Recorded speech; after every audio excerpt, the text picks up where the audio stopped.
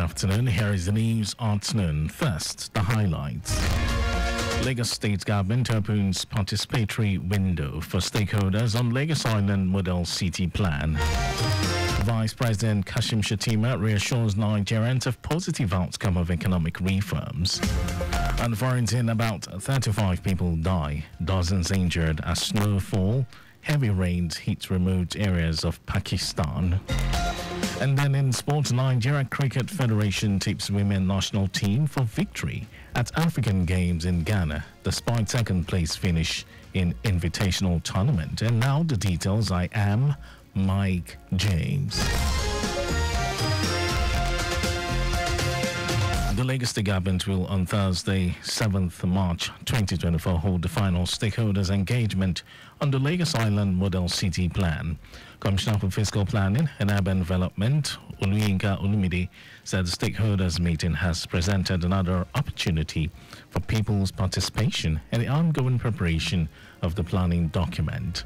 Olumide said the proposed stakeholders meeting, which would be the final stage in the series of stakeholders input into the evolving document was aimed at developing an inclusive Lagos Island model city plan that would address the aspirations of all Lagosians. He added that since the inauguration of the technical committee in August 2021, the preparation of the plan had witnessed a bottom up approach, including the initial engagement with benefiting communities and a public display of the final draft of the plan at four different centers across the plan area. Olumide explained that the goal of the Lagos Island Model City Plan is to harness the special characteristics of the area for the sustainable future growth and socio-economic development of Lagos as the preferred investment destination in sub-Saharan Africa. In a bid to curb and tackle the unscrupulous activities of land grabbers in the state, Lagos State Government, through the Lagos State Special Task Force on Land Grabbers, has organized stakeholders meeting with the theme Safeguarding Possessory Rights in Lands. The role of Lagos State Special Task Force on Land Grabbers. The Attorney General and Commissioner for Justice, Lawal Pedro, in his address at the event, noted that the rise in cases of land grabbing is an issue of great concern to the state's government. Pedro said the purpose of organizing the stakeholders meeting is to foster open dialogue, share information, experiences, and collectively identify solutions to the problems inherent in the activities of land grabbers. While emphasizing that the law on land grabbing that was enacted in 2016 still stands, regardless of one's status in society. Pedro explains how the provisions of the Lagos State Property Protection Law 2016, and in particular Section 2, subsection 1 of the law, which prohibits the use of force or self help by anyone to take over any landed property or engaging in any act inconsistent with the proprietary right of the owner of any landed property in Lagos. The Minister of State for the Federal Capital Territory, Mariya Mahmoud, has described the looting of a warehouse in the area as a criminal act. Mariya, who expressed her disappointment and concern about the extent of the damage during a visit to the facility, said the act goes beyond hunger. She explained that the looters took away all the grains and food items and even damaged the roofs and fences. Minister maintained that the perpetrators would face the consequences of their actions, noting that a police post would be established in all government warehouses across the territory. It will be recalled that two hoodlums on Sunday ransacked a warehouse in Gwagwa Tasha, stealing food items. And now to the rest of the stories.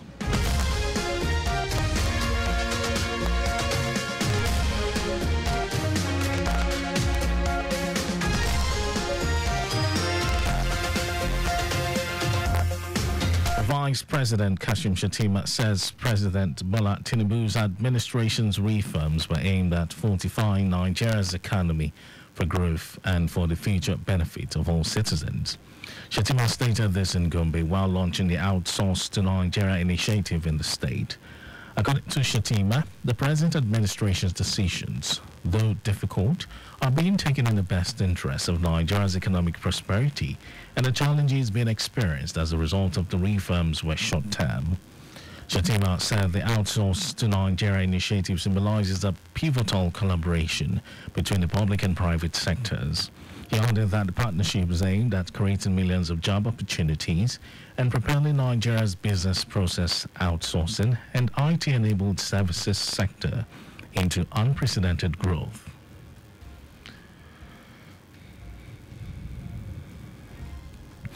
The National Information Technology Development Agency, NITDA, and the Small and Medium Enterprises Development Agency, SMEDAN, have signed a memorandum of understanding for the digitization of over 40 million businesses in the country.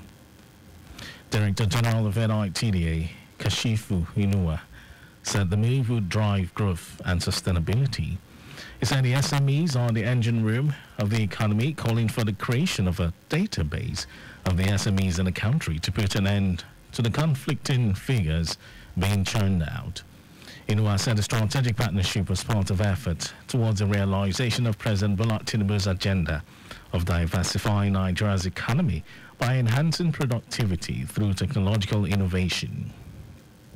He explained that through technology, SMEs would have access to funding, mentorship, and other forms of support to help them thrive and succeed. And in some foreign news, at least 35 people have died, with dozens more injured as freezing rain and unexpected snowfall hit remote areas of Pakistan. Disaster management authorities say 22 children were among the fatalities many of whom were crushed in the landslides that buried their homes. The extreme weather hit Pakistan's northern and western regions, clogging roads and damaging hundreds of houses. Experts are surprised by the snow, as Pakistan is typically humid in March. And over to sports news. Despite a second place finish at the fifth edition of the Nigeria Cricket Federation NCF Women T20 Invitational Tournament in Lagos, President of the Federation, Uyi Akpata, believes the women national team, female Yellow Greens, are equipped to do well at the forthcoming African Games in Accra.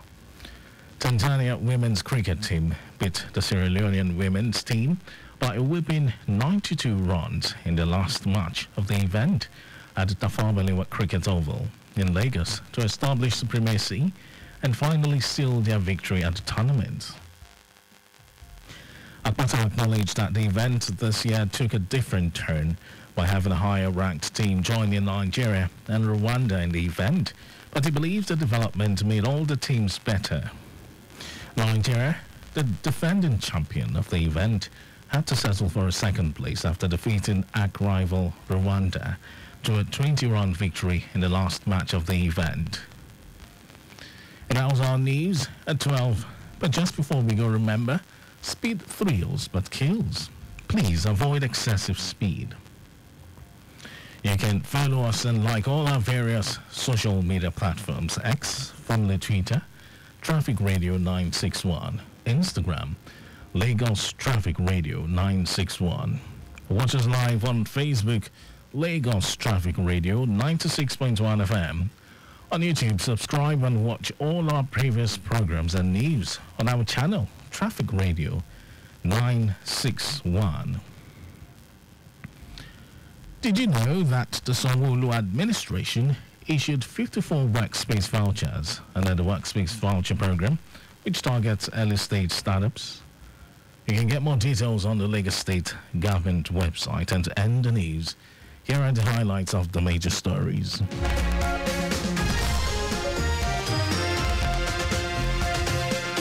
The Lagos State Government will on Thursday, 7th March 2024 hold the final stakeholders engagement on the Lagos Island Model City Plan.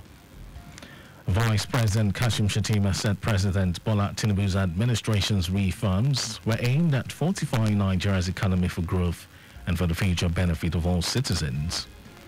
We also told you that at least 35 people have died, with dozens more injured as freezing rain and unexpected snowfall hit remote areas of Pakistan.